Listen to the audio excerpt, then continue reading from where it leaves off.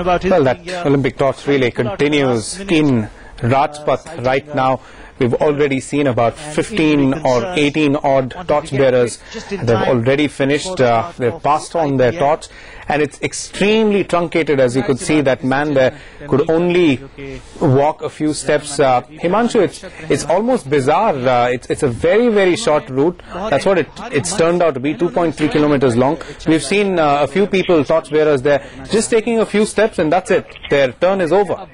Well, uh, as far as uh, the route is concerned, as far as uh, the absence of a few international or, the, or, or a few of the Indian celebrities is concerned, um, you know, most of the uh, most of the athletes and most of the celebrities I met uh, during during the ceremony, uh, you know, which took place a short while back, most of them said that the Olympic movement is, is basically meant for peace, harmony, and unity across the globe, and it and it's, and it's bigger than uh, than a lot of other things. Whether a lot of people take part in it, whether the route is short or whether it's long, uh, that that's immaterial.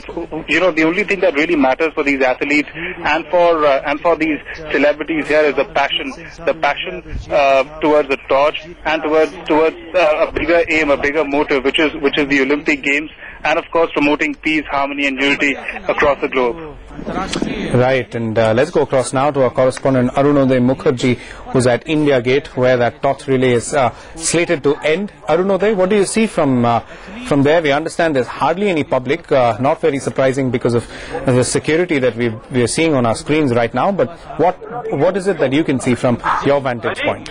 Well, uh, Venkatesh, yes, definitely. There is very little uh, general public over here, considering the kind of security precautions that the that the authorities have taken. But uh, we do have heavy uh, presence of dignitaries already, diplomats from various countries who've been who, who are state guests. They have arrived. Uh, we have the sports minister over here, Mr. Gill. He has also arrived. Uh, he was uh, speaking to the media a short while back. Uh, we also have uh, um, some actors and actresses also who have assembled here. So clearly, everyone at the culmination point of the Olympic torch relay to welcome that the torch, which is bound to reach any moment now, Venkatesh.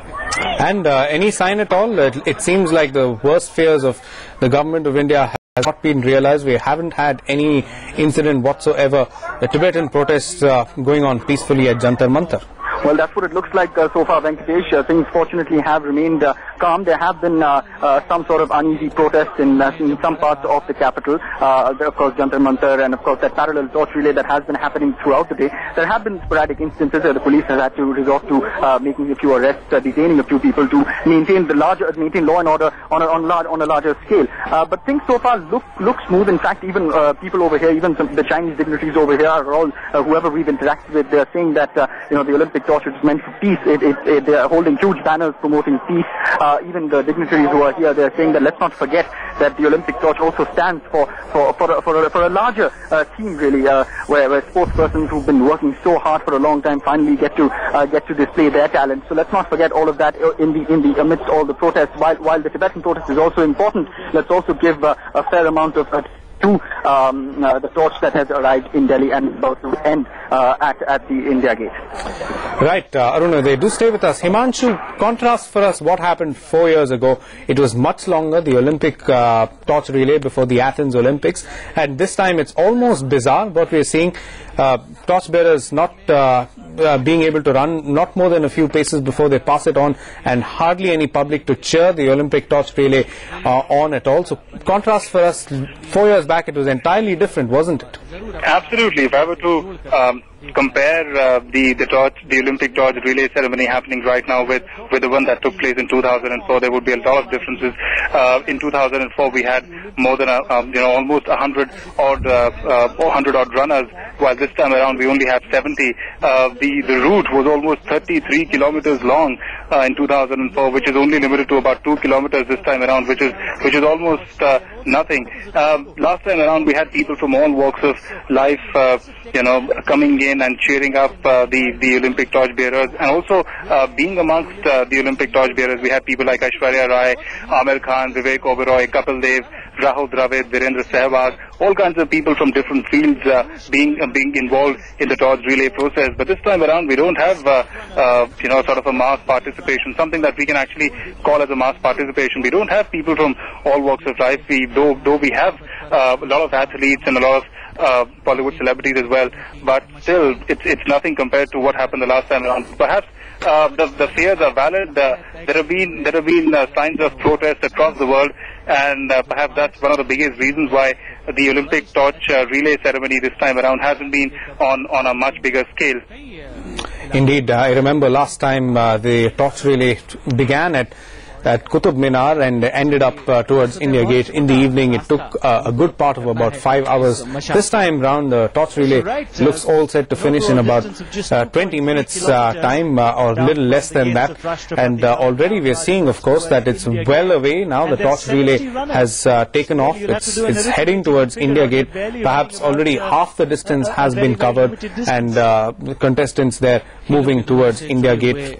Sheila Dikshit was the first Indian, the Chief Minister of Delhi, to be handed the Olympic flame earlier, about 15 minutes ago. She then gave it to the President of the Indian Olympic Association, Suresh Kalmadi, who in turn uh, passed on the torch to Milkha Singh, probably the greatest living uh, Indian Olympian uh, right now. Milkha Singh, uh, who had earlier said that it, it is not a good idea to mix politics and he had said this in response to Baichung Bhutia, India's uh, star footballer, when Bhutia not to take part in this relay on the grounds that he supports the cause of Tibet. And Milkha Singh had said uh, that it is not a good idea to mix politics and sport. So we've we've really seen, uh, as we've uh, on the screens right now, people from different walks of life, mainly sports persons, mind you, but also uh, celebrities from the world of entertainment, from the world of business, from the world of politics, from really all walks of life in India. 70 people have are taking part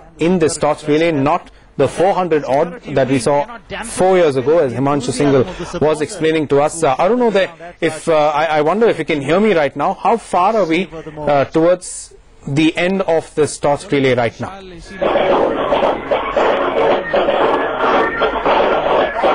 It looks like we are unable to main, establish that connection with Arunodaya Mukherjee, but uh, that torch relay is still very much on. This torch slated to, do, to go to Bangkok afterwards, after the India leg is over. You can see that top shot there, about a third of the distance has been covered from Rashtrapati Bhavan, Raisina Hill uh, to be precise, towards India Gate. All right, Arunoday, if I can... Uh, if I, if you can hear me once again, Arunoday, I was just asking uh, if you can see from where you are right now, how much longer before the start relay is over? Well, I don't think very long, Venkatesh. Well, we are, of course, we're uh, behind a heavy security blanket over there, but in the distance, uh, through the arches of India Gate, I can see a, a white-colored bus which was slated to lead that march. I can CNN IBN's very own Digvijay Singh Deo with that Olympic torch. Arunodaya, I don't know if you will be able to see this, but it's really something that Digvijay will be enjoying every second of that, I can tell you.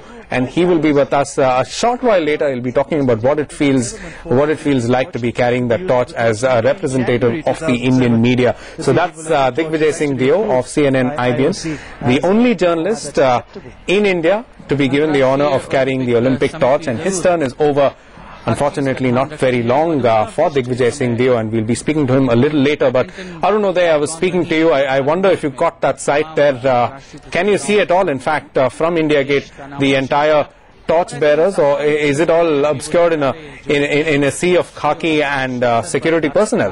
Well, that, that's pretty much it, Venkatesh. Uh, we're, we're behind a heavy, heavy security blanket. Uh, there's, uh, there, there's cordons everywhere, but in the distance, I can see uh, a, a bus which was supposed to be leading that march. So we are predicting that uh, the, the torch is well on its way and it should arrive uh, at its culmination point any moment.